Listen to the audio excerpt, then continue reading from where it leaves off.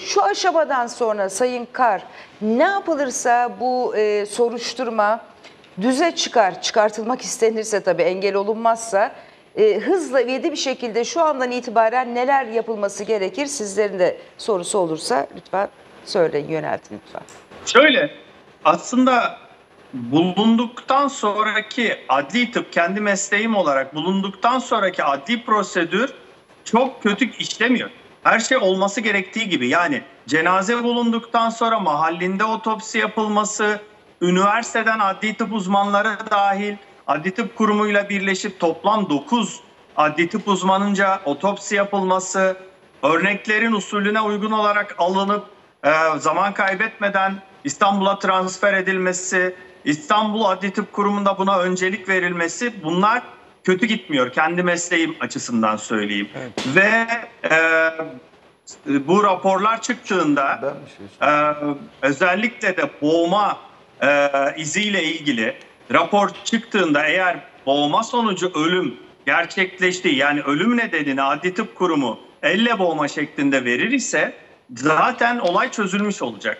Yani iddialar belli, ısırık izi uyuşursa, tutuklanan iki kişi var, Ee, DNA çıkarsa, boğma da elle boğma, kişi canlıyken elle boğma şeklinde bir sonuç alırsak zaten olay çözülüyor.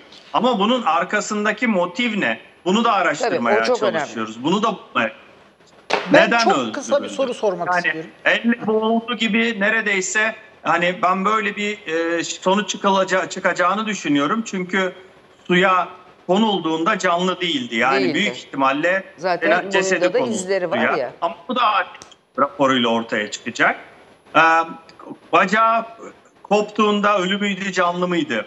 Kırıklar kişi ölüyken mi canlı e, canlıyken mi meydana geldi? Boyna bası uygulanması kişi canlıyken mi ölüyken mi meydana geldi? Bunlar çıkacak. Hocam- Ölüm zamanı 3 aşağı 5 yukarı belli olacak. Ölüm nedeni de belli olursa aslına bakarsanız sanıklarla eşleşip çözülecek. Ama arkasında yatan motivi O e, şu an hiç açık değil. Tabii en önemlilerinden biri de o. Buyurun. Hocam e, şimdi ben biraz e, konuşulanları, e, anlatılanları veya bize aktarılanları kadar söyleyeyim. Şimdi bir boğma işlemi var haklısınız ama içeriden hiç boyun içinden e, gırtlak bölümünden hiçbir kemik kırılmamış. E, ve mücadele etmesi çocuğun ona izin verdiği anlamına gelir. Şimdi bizi hep Ee, şöyle bir ayrıntı vereceğim siz devam edin. Çocukluk çağı yaş grubunda boyun kemiklerinin erişkine göre çok daha az kırıldığını görürüz. Çünkü çocuklarda Ama bir basıyla mücadele tamamlanıyor. ederseniz yani bir basıyla sert bir abi var 19 Evet, yaşında kırması lazım Erişkine göre şey.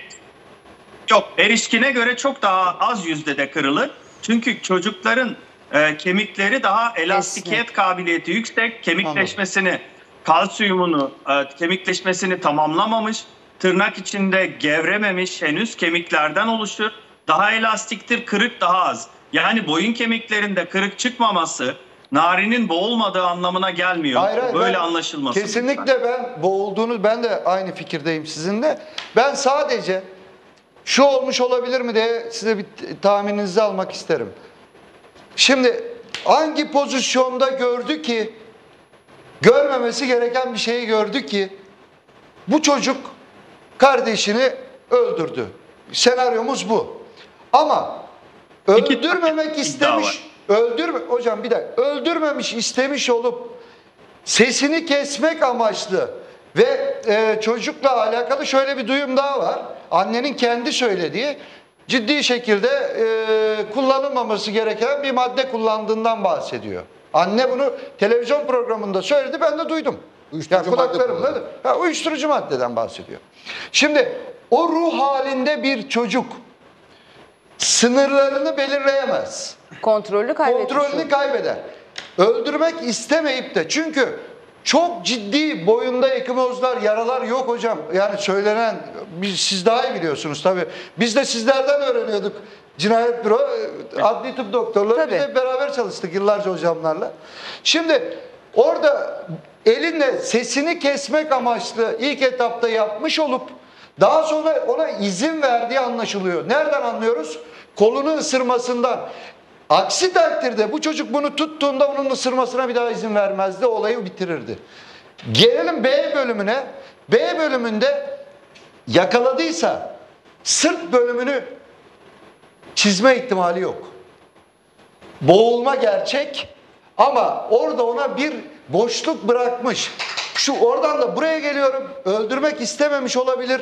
Elinde nefesini kesmiş olabilir ve ölümüne sebep olmuş olabilir. Boğulmaya sebep olmuş olabilir. Bu da ihtimallerden Tabii biri. ihtimalle. Size bunu değerlendirebilir misiniz lütfen? Bu çok kuvvetli ihtimallerden biri. Uyuşturucu madde altındaki bir birey görülmemesi gereken bir pozisyonda yakalanıp e, Narin de çok dilbaz bir çocuk, çok konuşkan bir çocuk. E, abisine çok büyük tepki gösterip bağırdıysa eğer sesini kısmak maksatlı e, elle boğazını sıkmaktan bahsetmiyorum. Dediğiniz gibi Aynen. ağız burun tıkanması. Sesini Öyle kesmek anlamlı ağız tıkamasında Şöyle- e, ayarını kaçırmış. Tırnak içinde ayarını kaçırmış. Tabii. Kendini ayarlayamamış. Nerede duracağını bilememiş. Kontrolünü kaybetmiş. Biraz fazla tutmuşsa eğer ağız ve burun tıkamayı bir bilinç kaybı gerçekleşmiş olabilir. Ta- öyle İş kaybı çıkınca da amcaya Çünkü- haber verilmiş çünkü bakın, olabilir. bir sürü ben boğulma hocam tabii lütfen bağışlasın beni. On- Onlar bizden çok çok daha şey ama ben de meslek hayatımda belki de 500 tane boğulma olayına bakmışımdır. Yani ilk ölüm aynesini biz yaparız. Daha sonra adli tıpa gider. Yani oradaki bir insanın e, iple boğulması veya elle sıkarak boğulmasındaki o vücut yapısını, o görüntüsünü çok iyi biliyoruz. Ama Nevzat da diyor ki ifadesinde, ilk ifadesinde, hocam sadece şu bölgede hafif Evet, bir kızarıklık kızarıklık vardı diyor. Yani elle boğması ihtimalinde o bu bölgeyi tamamen morartması lazım. Evet. Anladınız mı? Evet. Ha şu da olabilirdi. Katılır mı hocam bilmiyorum. Yastığı alıp boğmak da boğmaktır. Yani nefesini kesmek suretiyle. Onda da mesela kemiklerin kırılma oranını hocam şimdi anlatınca ben daha iyi anladım. Teşekkür ederim bu anlamda. Ama yastıkla da boğabilirdi. Yani o şekilde de yapardı boğmayı. Tabii. Ama benim Tabii. anladığım çünkü ona izin vermiş bu çocuk. İzin vermese arkadaşlar kolunu ısıramaz. Sırtını çizemez. Bu- İz- Kontrolsüz bir eylem gibi. Nasıl Ne hocam? eylem? Kontrolsüz bir eylem. Aynen hocam. Aynen Haddini ve katılıyorum. Hocam. Bir gibi duruyor. Aynen hocam. Vak- teşekkür ederim. vaktimiz doldu. Bir iki cümle sadece şuna yanıt alabilir miyiz? Nari'nin 5 yıl önce hayatını kaybeden ablasının mezarı açılacak. Orada yapılan otopsi incelemesinde, fethi kabir işleminde cinayet mi doğal ölüm mü olduğu belli olur mu? Evet. Teşekkür ederim. Ben e, aslında adli tıp uzmanı